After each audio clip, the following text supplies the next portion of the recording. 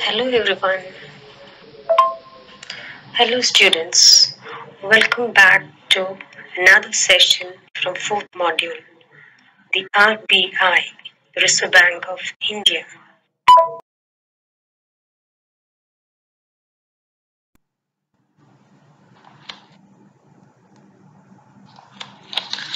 The Reserve Bank of India Act was passed in 1934 and the bank started working on April 1st, 1935.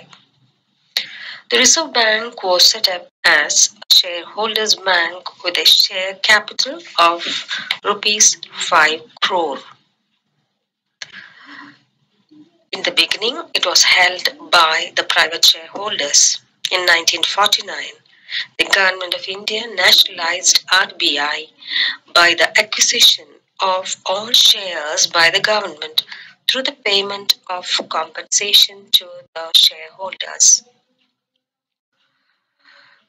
The RBI, as the central bank of the country, is the center of the financial and monetary system.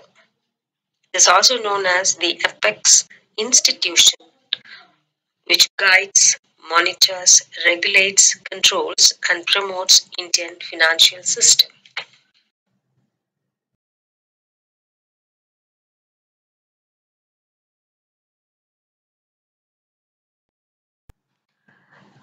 Now let's check some of the famous economists' comments about the central bank of a country.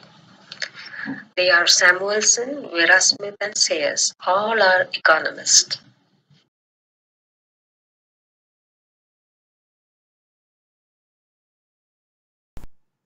The key roles of RBI includes 1. As the regulator and supervisor of the financial system of India, controls the exchange, that is the foreign exchange.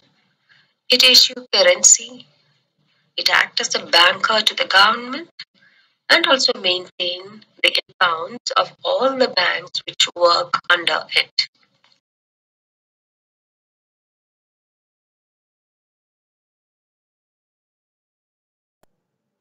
Now it's time to analyze the structure of the Indian banking system.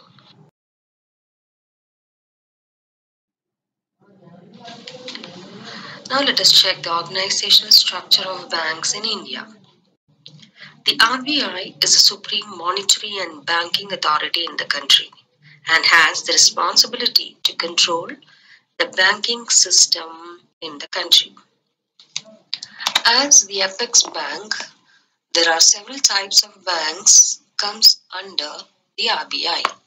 They are the commercial banks, cooperative banks and development banks. Under commercial banks, we have public sector and private sector.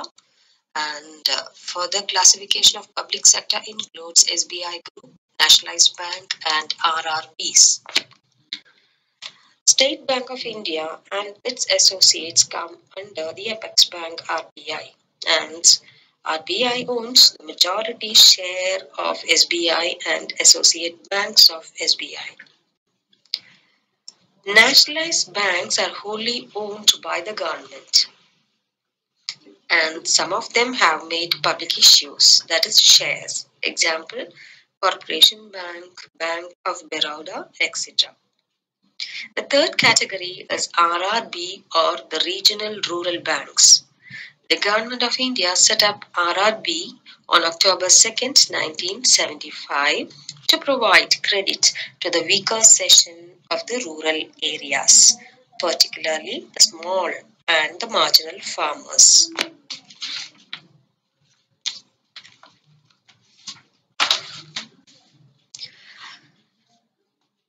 The private sector bank is owned by the shareholders. It consists of old generation private banks. Example. Old generation private banks. Example, Union Bank, Dhanalakshmi Bank, etc. The second category is cooperative bank and it consists of state cooperatives, central cooperative, primary agricultural credit societies, land development bank, and state land development banks. They are governed by the Banking Regulation Act 1949 and Cooperative Societies Act 1965. And the third category, they are called the development banks. They mostly provide long term finance for industries. They also provide short term finance for export and import activities. They provide finance to both private and public sector. Examples of development banks are IFCI, ICFI, the Industrial Finance Corporation of India, IDBI, the Industrial Development Bank of India, SIDBI, Small Industries Development Bank of India, and NABARD, the National Bank for Agriculture and Rural Development.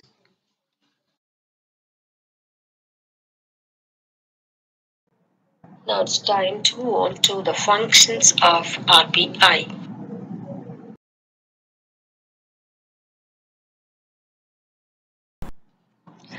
First function of RBI is the bank of issue. The RBI is the sole authority for issuing currency in the country. All kinds of currency other than 1 rupee coin and notes are issued by the bank. The 1 rupee coin and notes are issued by the Ministry of Finance.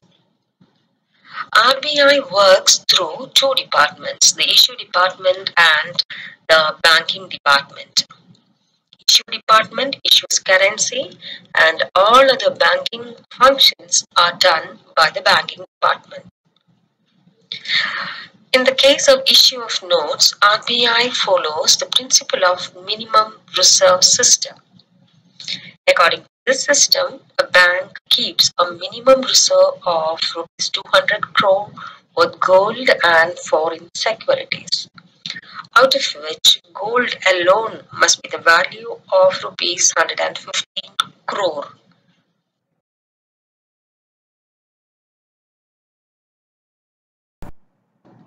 The second function is banker to the government. Is the second important function of RBI is to act as the government banker, agent and advisor. The RBI is the agent of central government and all state governments in India except Jammu and Kashmir. Maintaining the accounts of central and state government, collection of payments to the state and central government, making payments on behalf of the central government and state government, managing public debt, advising central and state government on financial matters, and giving advice to the government policies concerning banking. These are some of the functions as banker to the government.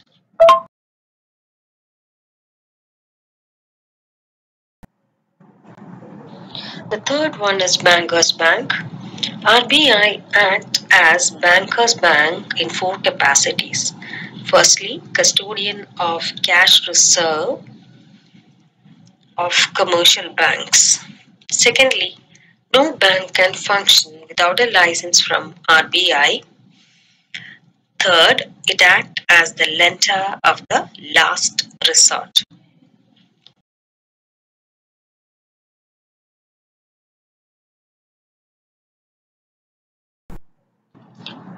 The fourth function is the controller of credit. The function as controller of credit. It means the regulation of the creation and contraction of credit in the economy.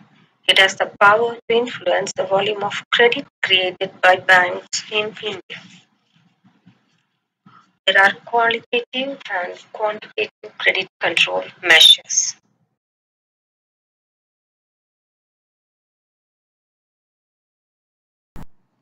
Before moving to the quantitative and qualitative method, let us go through the monetary and fiscal policies.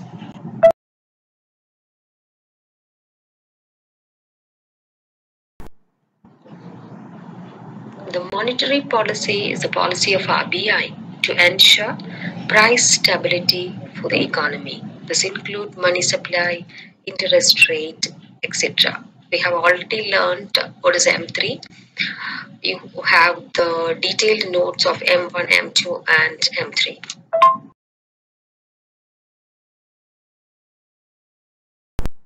If you ask what is the basic difference between monetary policy and fiscal policy, the first one, monetary policy is a policy of the central bank of a country and fiscal policy, the policy of the government. The monetary policy regulates the supply of money in the economy, whereas the fiscal policy can be used to overcome recession and control inflation. It can be a deliberate change in the government revenue and expenditure.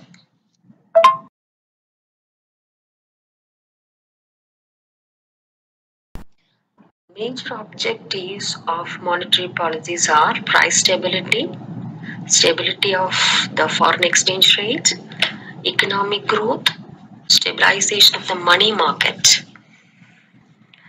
Now, in India, the money market is a part of financial market which is in the borrowing and lending of short-term loans, generally for a period of less than or equal to one year. And the last one is to meet the needs of business.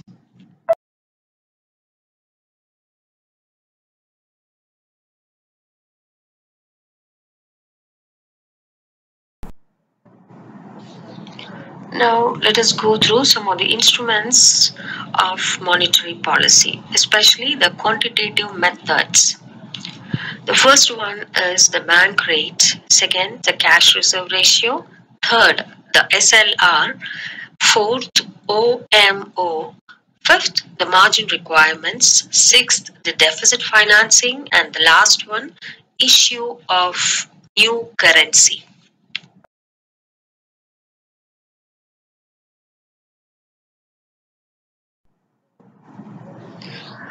The bank rate is the interest rate which is fixed by the RBI to control the lending capacity of the commercial banks. During inflation, RBI increases the bank rate and vice versa during the deflation.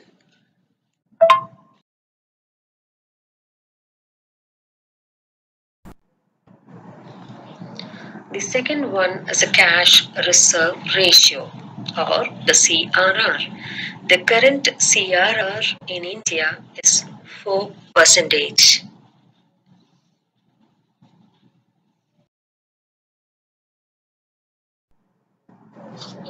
Next is the statutory liquidity ratio or the SLR. The SLR refers to the percentage of reserves to be maintained in the form of gold or securities. The current SLR is 18.25 percentage.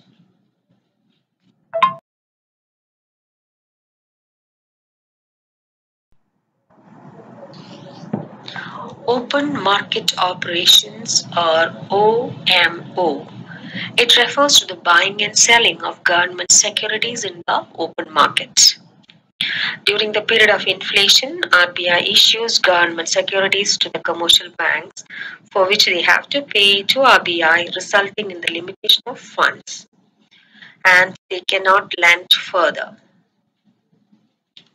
Thus, money supply is controlled in the economy.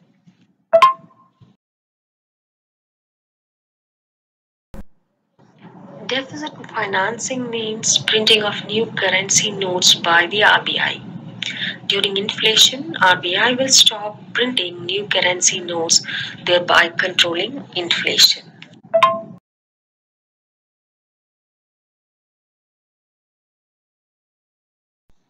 Issue of new currency.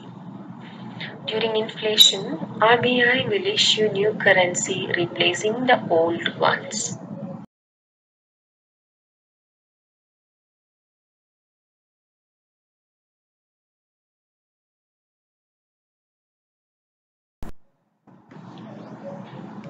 Next is the repo rate.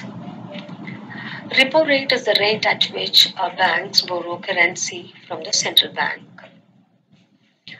The present repo rate is 5.15 percentage.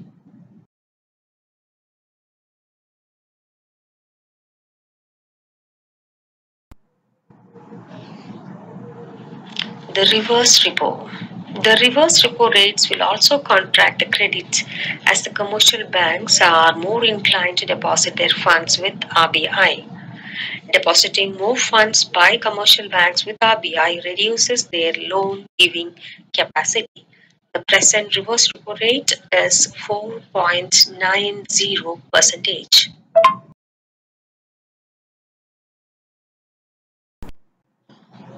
Points to remember. The repo rate is always higher than the reverse repo rate.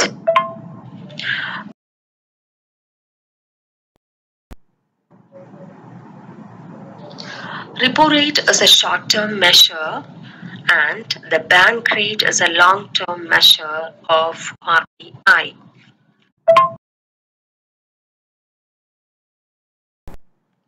Moving on to qualitative or selective methods.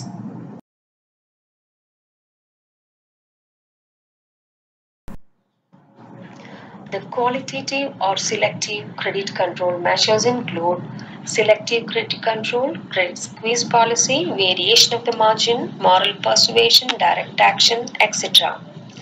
In the case of selective credit control, the bank ensures that the credit money is going into the deserving hands. In credit squeeze policy, it acts as an anti-inflationary measure. Moral persuasion is that RBI morally persuades the commercial bank to work in the interest of the national prosperity and economic growth. Whereas in direct action, RBI is empowered to initiate action against those commercial banks which ignore its advice. Control of bank advances is also used as a selective credit control. Variation of margin requirements include the change of the margin. The margin is the difference between the loan and the market value of securities. If central bank prescribes the margin requirement as 40 percentage, then the commercial bank can lend only 60 percentage. If the RBI increases the margin to 50 percentage, then the bank can lend only 50 percentage of the market value. Thus, by changing the margin requirements of the amount of loan made by the bank can be changed in accordance with the policy of the central government.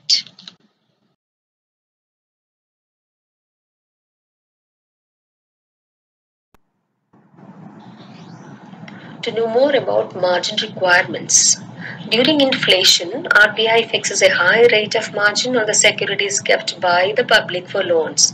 If the margin increases, the commercial bank will have less amount of credit. This is how the margin requirement works.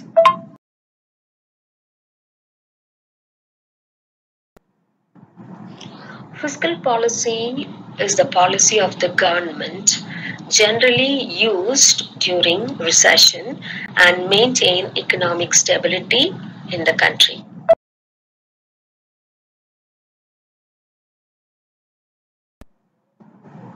These are some of the instruments of fiscal policy that is reduction of the government expenditure, increase in taxation, imposition of new taxes, wage control, rationing, etc.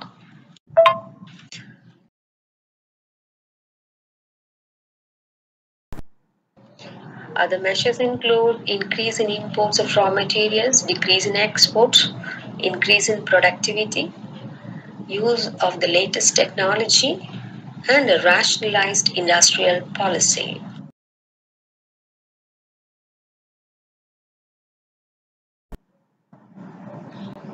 And thank you for listening this class patiently. Thank you so much.